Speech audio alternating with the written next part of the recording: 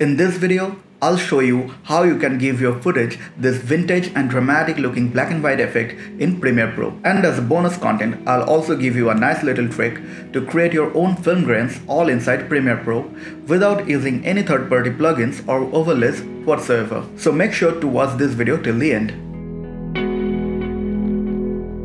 Hello guys, my name is Subhadip Mondal. I'm a filmmaker and a guitarist. I make short films, music videos, photo and video editing tutorial videos just like this one as well as detailed guitar tutorial videos on this channel. So if you are new here and are interested in any of these topics then please consider subscribing by clicking on the big red subscribe button down there and also click on the bell icon next to it to turn on notifications so that you don't miss any update whenever I upload a new video. So getting that out of the way, let's get started with the video.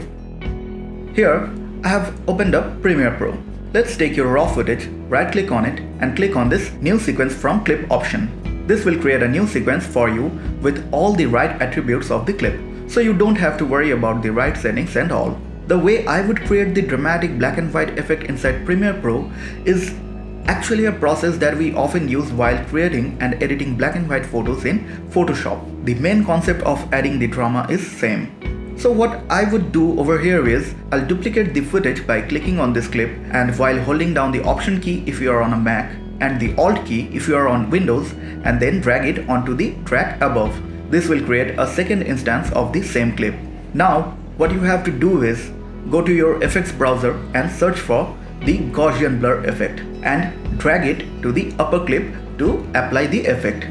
Now increase the blur effect to around 30 to 35 this number will depend on your footage. The idea is to blur the details and leave the color information. So do not increase the blur so much that it becomes so blurry that you cannot distinguish the subject. Now go to the blending mode option for this clip and change the blending mode to something like overlay or soft light. I'm going for the overlay. This will create a dreamy look and give the highlights a nice bloom. Now obviously this is too much but don't worry we will tackle this in a moment. Now create an adjustment layer and drag it onto your timeline over the clips. Then select the adjustment layer and open up the Lumetri color panel. Simply decrease the saturation to 0 to turn the clip to black and white. Now you can go back to the middle clip which has the Gaussian blur effect in it and go to its corresponding Lumetri color panel and click on its curves adjustment. You can pull up the black point and pull down the white point of this curve to reduce the effect of it and also the contrast to your liking. You can even create a point in the middle of this line to control the mid-tones. If you think that this effect is being too much, then you can even lower the opacity of this clip to tone down the effect a bit. To fine tune the contrast, you can go to your original clip and play with the red channel or even the blue and green channels of its tone curves and see if that is giving any interesting results. As your final contrast, play with the curves of the adjustment layer to affect the whole image at once.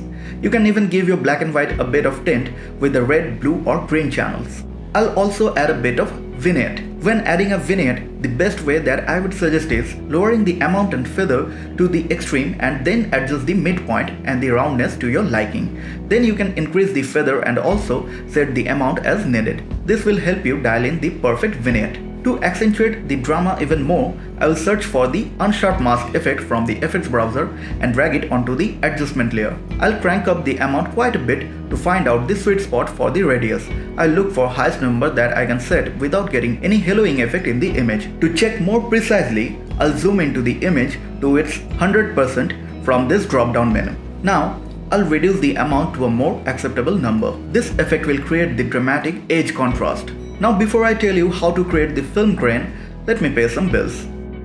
If you are planning to own a website or start an online business, then you will need a reliable hosting service to host all your domains. To host all my websites, I use HostGator and I haven't faced any issues till now. So I can recommend you to consider their service while looking for a hosting plan. And they have also been kind enough to hook me up with a coupon code to share with my viewers and subscribers. So if you buy from my link and use my coupon code, you'll get a hefty discount. Please check out the video description below for all the updated information. Okay, so now I'll create a film grain all inside Premiere Pro. To create the film grain, first create a color matte. Insert the hex code 808080 to select a perfect middle gray and press enter and name it neutral gray. Drag the color matte onto your timeline above all the other clips and adjustment layer. Size it to the length of your clip. Now find the effect noise from your effects browser and apply it to the color matte. It's in the sub menu called noise and grain. Crank up the amount to about 10% and check off this option called use color noise as we want a more analog looking film noise rather than a digital color noise which looks ugly and are usually the result of using higher ISOs in low light. Now all you need to do is to change the blending mode of this color matte to something like overlay or soft light. You can also reduce the opacity to your liking.